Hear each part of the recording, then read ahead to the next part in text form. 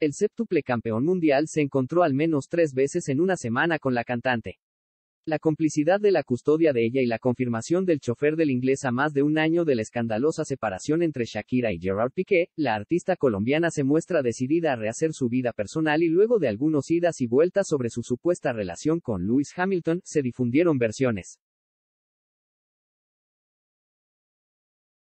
sobre encuentros secretos entre ellos.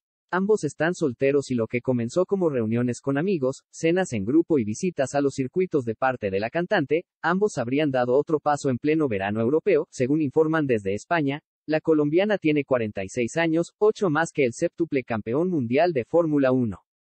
Ambos se encontraron en uno de los lugares más exclusivos en el viejo mundo. En esta época del año.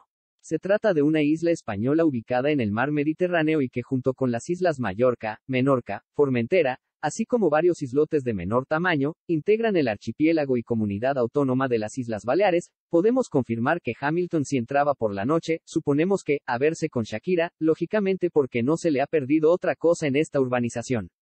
Toda esa zona. Son villas, Shakira ha estado siete días en esta villa Coco Loco, espectacular, unifamiliar, enorme, con todos los servicios de lujo, contó la comunicadora Tamara Gorro en el programa y ahora son soles de Antena 3, solo ha salido dos o tres días a comer fuera y sí podemos confirmar por una persona con la que he hablado, que ha visto a Hamilton entrar aquí una de las noches a la urbanización. Él se iba de discotecas y luego acababa en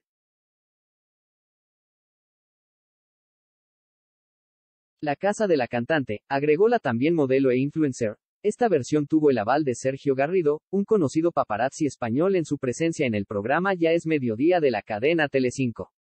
El reportero informó que la cantante y el piloto se vieron por lo menos tres veces en la villa, donde la cafetera aprovecha para descansar y disfrutar en Ibiza.